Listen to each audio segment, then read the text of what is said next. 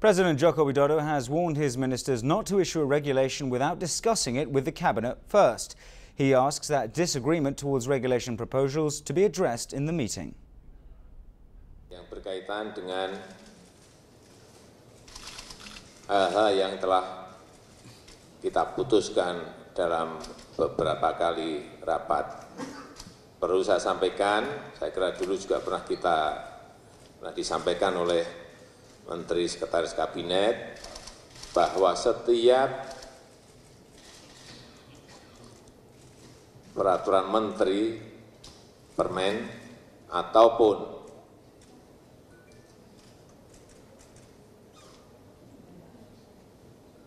yang namanya SE Menteri yang berkaitan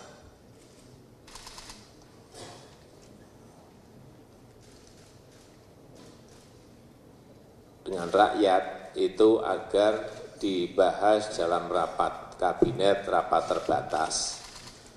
Jangan sampai mengeluarkan peraturan menteri tanpa melalui proses di rapat kabinet atau rapat terbatas. Sehingga semua menteri tahu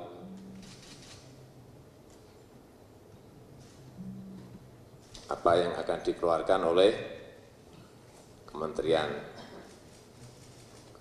yang lainnya. Kalau ada hal-hal yang berkaitan dengan kementeriannya bisa disampaikan dalam rapat itu. Ini sekali lagi saya ingatkan, saya peringatkan.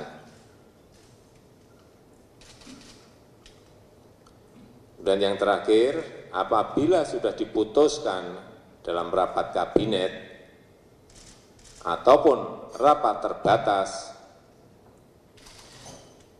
semuanya menteri harus memberikan dukungan. Silahkan menyampaikan kalau setuju atau tidak setuju itu dalam rapat. Jangan sampai sudah diputuskan dalam rapat, di luaran masih ada yang berbunyi tidak setuju.